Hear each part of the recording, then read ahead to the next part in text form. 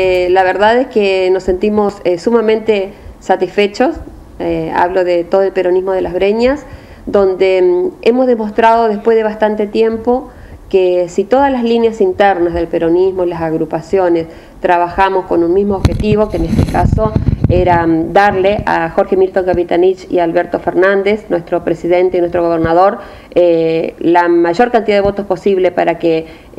podamos eh, tener la mayor cantidad de diputados y, senadores posibles, eh, diputados provinciales y nacionales posibles, eh, bueno, que podemos ganar en las breñas. en las breñas em, es muy difícil lograr esta unidad que hemos logrado, por lo tanto,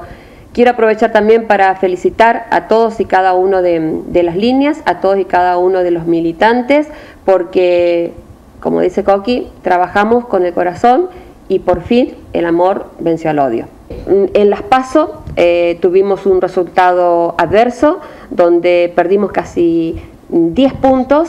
eh, y bueno, o sea, o sea hoy, hoy por hoy el radicalismo de las breñas dice que festejan si ganaron por 60 votos y la verdad que no, la verdad que no porque recuperamos 10 puntos más 60 votos. Eh, esto quiere decir que el pueblo de las breñas también ha valorado lo que en obras nuestro gobierno provincial y nacional nos está dejando. Es impresionante, digo yo, estamos como en las mejores épocas de Cristina, donde estamos en plena construcción 60 cuadras de pavimento, finalizando un acueducto que la ciudad de Charata ya lo aprobó, que las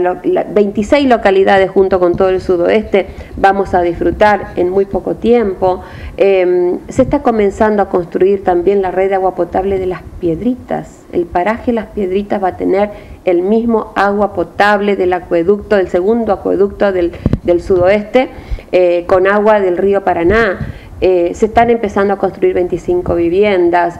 y podemos seguir con la cantidad de obra. ¿no? La ruta 6, bueno, la ruta 6 creo que es eh, el broche de oro de, de todo el sudoeste, donde no tenemos nosotros dimensión de cómo nos va a cambiar la vida no solamente a los ciudadanos que en menos de media hora vamos a estar en las piedras, sino que lo que el desarrollo que va a venir y las posibilidades y oportunidades de trabajo que van a surgir con esta nueva eh, economía que vamos a tener a partir de la pavimentación de la ruta 6, que ya comenzaron los trabajos, ¿no? Entonces, la gente también ha hablado de la clase media, la clase media alta, creo que notó esa diferencia